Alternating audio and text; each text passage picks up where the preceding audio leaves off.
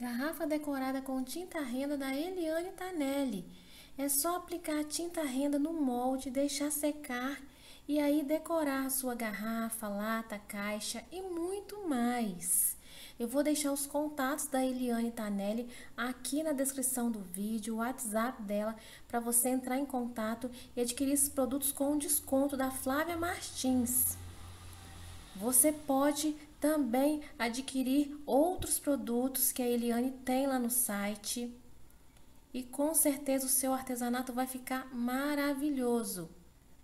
Olha, já está pronta a garrafa. Olha que charme. Deixe o seu like, seu comentário e compartilhe com as amigas.